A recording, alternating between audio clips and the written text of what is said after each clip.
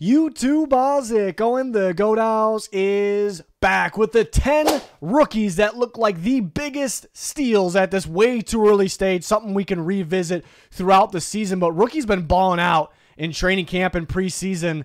So I wanted to highlight the 10 that have stood out the most in comparison to where they were drafted in the 2024 NFL draft. So let's get to this countdown. I do have a top 10, but I got to give a shout out to Jermaine Burton, the Bengals receiver from Alabama, drafted in the third round. Uh, this video was kind of based off not just preseason stats, but where they are in the depth chart, training camp, you know, probably look at practice. Uh, how the coaches feel about them, but Burton is tearing it up in preseason. Really is, you know, leading receivers in receiving yards too. He is playing a little bit deeper down the depth chart for the Bengals and against guys deeper down the depth chart, but you see the talent that he has down the sideline with his speed, his hands, maybe the best hands in the draft. So wasn't a crazy mega steal around the third round, but we knew his talent said he was probably a little bit better than that. The only thing is a little bit deeper down the depth chart. You know, wish he was getting more reps with the ones, even more with the twos. You know, in practice. I think he's talented enough to be higher on the depth chart. We'll see if anything changes, but does look really good uh, later in the games in the, in those preseason games. Uh, so to the top ten, number ten, the Bears rookie pass rusher from Kansas. They took him in the fifth round, and we knew at the time was probably a really good value pick. Probably could have went in the third, maybe fourth if you're pushing it. They get him in the fifth. He has a really good showing in his first preseason game, two and a half sacks looked like a natural, and he's supposed to be a raw prospect. That's kind of why he dropped down a little bit. You wish the get off there was a little more get off. You wish.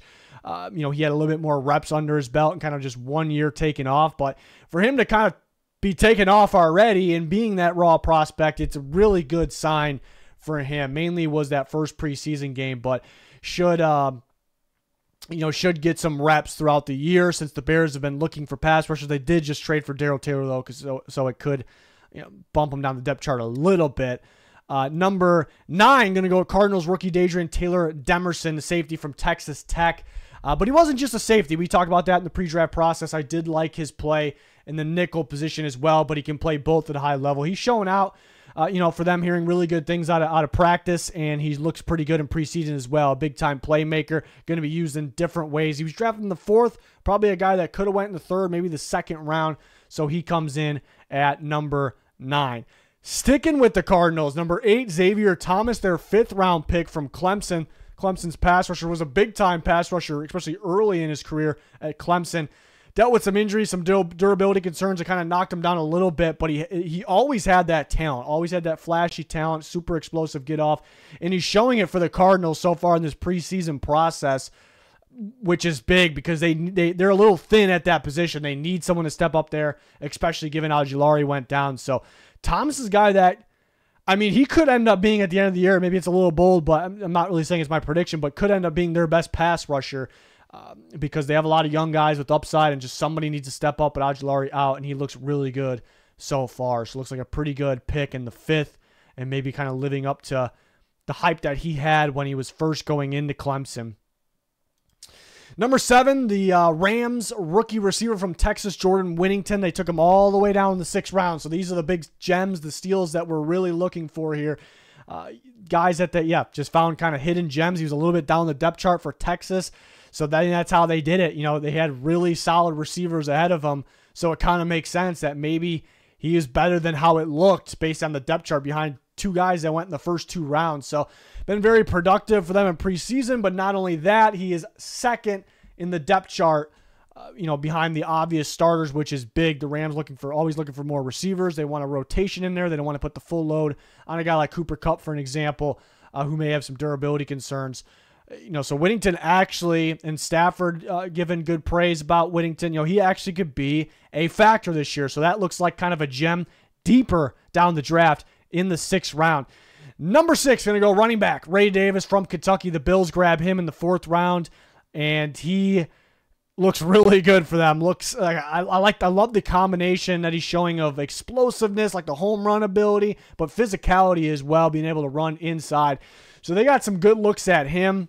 He looks really solid. Like there's an opportunity that he is getting a decent amount of carries every single week. Uh, you know, James Cook played very well last year, but it's not a full load pound the football type of guy. You know, they definitely need someone else to get carries, and Ray Davis is going to continue to climb up the depth chart. And there could even be definitely, I could see games year one for Ray Davis that he is splitting in some games with James Cook. So just having that type of presence, that type of back that they don't really have in there is big. He looks he looks legit. We're not really hearing much about the other running backs. Uh, you know, I'd say he look he's looking better than Trey Benson right now, who's getting some work. Uh, you know, so that's fantastic. So it looks like a steal for them potentially having a high end number two in the fourth round and you know, maybe the preferred choice over Cook in some short yarded situations, I'd say most likely is. So it's going to feel like a 1B, I, I bet, at, mo- at some part during the year, maybe in most way through it here. Uh, number five on the list. We got a first round pick on the list, folks. We got a first round pick. Mainly, what I look for is the deeper, the hidden gems. We got some of those c- coming up, like the absolute steals that we weren't expecting. But a first rounder does make the list. Tyler Guyton looks really good for the Dallas Cowboys, and I gave them an A plus for this pick, so I was hyped about it. A guy that was a big riser for me, like the last month, last couple weeks going into the draft, really was moving up my board. A lot of upside, but for a guy with that much upside because of his traits, his strength, his length, his athleticism, he was pretty polished. I thought jumping from TCU to Oklahoma, he was pretty polished. So that made me go all right, that's that's scary potential right there. So I move him up the list. I thought it was a perfect pick for the Bengals, and they took Mims ahead of him. I think that was a big mistake. They're going to regret that. I think Guyton will be better than Fashanu too, which might be a little bold. He looks really good. Like you can make a highlight tape from his, just his reps in preseason, and um, you know that they're likely going to start him start him at left tackle, obviously. So looks like another hit on the offensive line for the Dallas Cowboys. Uh, he should have went much earlier in the 29th pick, and I know around the time of the draft, I mean, a lot of people had him around that range, but man, the last couple weeks, I felt like he was a, and they traded back to get him, so I factored that in as well. It just looks like a mega steal. He should have went, he should have went way earlier. At the latest, he should have been the Bengals pick, the very latest. So looks like, uh, looks like they got one. I feel pretty confident about that. Uh, with the Cowboys here. So first round pick comes in at number five. We do have some gems coming up. Let's let's find a deep gem. Seventh round pick, and even makes it even deeper is that he's from a very small school, Texas A&M Commerce. Levi Drake Rodriguez. Now with the Vikings, he looks really good for them. A lot of praise out of practice and training camp, moving up the depth chart and looks really good in preseason. The Vikings need defensive tackles to step up as well. So this is a guy that's a late round flyer. Like, let's take a chance on one of these small school guys that have upside instead of taking one of these known guys that slipped a little bit uh, and see what we got. So usually those types of guys are more likely to not make the make the team. Sometimes the undrafted guys have a better shot, but not only is he going to make the team, he's gonna he's gonna play for them uh, on Sundays. He's gonna play for them, just super high motor. Um, firing off the ball. If you haven't seen any of him in preseason, the way he explodes off the ball is like a super athletic pass rusher, like an edge rusher almost. Um, so that that's interesting. It's not super common when you see it. It's a guy you want to work with. So I think he's going to get some playing time not doesn't that hold a ton of expectations because he is a very late round pick, a kind of a, again a flyer pick, but that's one of those gems we needed for this video. We do have kind of another one, not as small, a much bigger school, but uh, how about Dominick Puni, which I loved. I think a lot of you out there loved. It seemed like a fan favorite in the pre-draft process. Uh, third round pick, which maybe doesn't sound like a mega steal, but it's feeling more and more like it now. The Niners have uh, announced that he is their starting guard, right guard. Um, and that's big because they needed somebody there pretty badly. And it's a guy that could play tackle as well, so it's a bonus. But he's doing a lot of the same things that he's doing on tape at Kansas. And he was a small school transfer. He's had times at tackle, at guard, and you know he might have played better at tackle, but his his traits say guard, so that kind of made teams a little scared. Like, what do we do with them? But he he is showing the same things that we loved on tape. He's showing it out there on the practice field and in the games for the San Francisco 49ers and why he's earned a starting job. And that's, man, you see reps with him hitting multiple successful blocks on one play. Uh, he's got unique movement, I'd say. He, it just feels like he's all over the place, and you see him spin and find someone else to block. If he doesn't have anyone like anyone uh, for his responsibility to block. He goes and finds somebody to hit, and that's what we. That's why we loved him. That's why we loved him so much. That's why he was a fan favorite because he did those things. Those really aren't things that make you an elite prospect.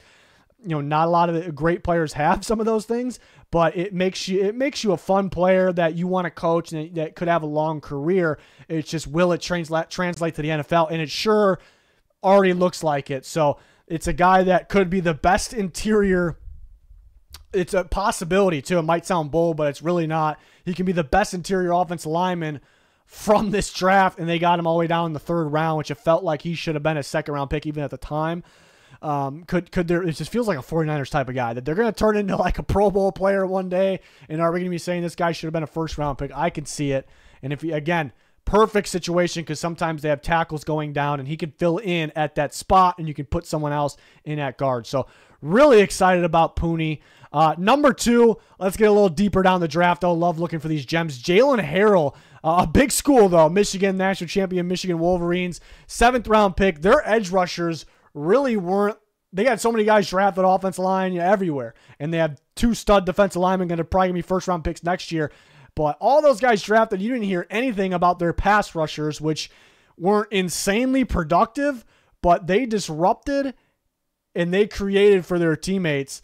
So they were a little under the radar, and I thought Harrell was definitely the better of the two. I know some people disagreed, but still was uh, just a hidden guy. This is around the range he was supposed to go, seventh round, and it looks like the Titans got one in him. He is looking phenomenal playing for them right now, and the Titans badly need depth. They they need. Uh, so I think he's going to play. I think he's he. There's a shot he's their third pass rusher rotating in.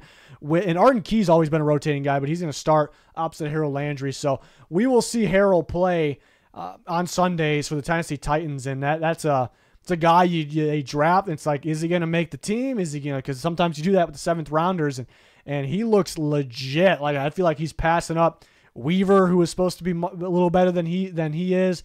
Uh, you know, so that that's fantastic for a team that badly needed some depth at the position. So he, he looks he looks legit. He looks explosive. He's just getting after the quarterback constantly. And number one is actually not a deep draft pick. It's a second round pick from Georgia, the Houston Texans rookie Kamari Lassiter, who has been running with the ones from the start, has been dominant in training camp and practice.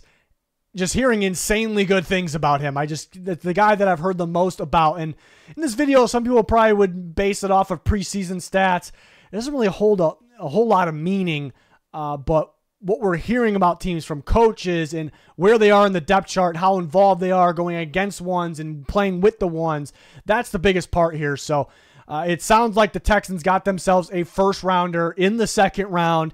And that after you say that, it doesn't sound that surprising though, because at one point, he was known as a first round player at Georgia and very early in the process. Then he runs a slower 40 and then he goes downhill a little bit. And that's because it's very important at the cornerback position just for some reason, guys that run a certain 40 that's a little slow, they don't get a chance or they just never work out. That's like that one position. Even receivers can overcome that. But for some reason, corners typically can't. And we have to wait and see still with all these guys. It's essentially a prediction video, how, how it seems right now. Uh, the season didn't even start yet. So it'll be a lot of fun to take a look at this and take a look at it as we do it throughout the season, maybe a couple times. Uh, but yeah, Lassiter is playing like that first, uh, better than that too. It, there's a chance that he could be the best corner from this draft this year. There's that. It's actually, if you had to put odds on it, he's got pretty good odds. Like he, you know, there's some legit corners from the first round and from the second round, but uh, this guy, I'm sure, is soaring up in terms of odds of winning Defensive Rookie of the Year. Uh, just a lot of good reports from that coaching staff. They love him. He's with the ones. He's a, seems like a really good duo with Stingley. You can put Lassiter on the inside. It's kind of where the league's heading, where you you put guys where you need the most. Looking at uh, Devon Witherspoon, who plays outside and inside, super physical. There's a lot of similarities there for Lassiter, who can play both. Uh, but I think we'll see him start on the outside because they do have, uh, you know, King, Petrie, Ward that could all play in the inside. A couple of those guys can play safety as well. Uh, so it just sounds like they got themselves one, and it's it's one of those like right now we're all probably going like, uh, I guess that kind of makes sense, you know. Uh, but that is one to watch for defensive rookie of the year. There's that much buzz on him right now. Let's see if he lives up to it. But I do love the pairing with him and Stingley. I was gonna say, but really that whole secondary. So it's gonna be really fun to watch him in that well coached defense. Uh, so yeah, I expected to maybe have a sixth or seventh round pick at one, but it really looks like the Texans may have uh, a first round, not just a first round pick, but an earlier first round pick in the second round. A guy that could possibly, you know, might be tough. Maybe one of the edge rushers are, are the favorites, but win Defensive Rookie of the Year. Uh, so definitely keep an eye on these guys. There's more guys that are turning heads. Some there's a lot of guys turning heads that weren't necessarily steal. I mean, the first overall pick in the in the draft can't really consider like a guy like Caleb Williams a steal, but these guys are all turning heads. Let me know your guys' thoughts on some of the rookies in the comments. This is definitely a vi- video we can revisit when it's actually the real thing, real football, and, and we're kind of speculating right now, but it's fun. It's all fun. We have a bunch of trade videos on the channel that are definitely worth checking out. A lot of action's going to come here. Trades, cuts waiver claims, cuts again, more trades, and then the season starts. We'll have our in season content. I am pumped. Hopefully, you guys can join us for all that. Thanks for watching. Goodbye.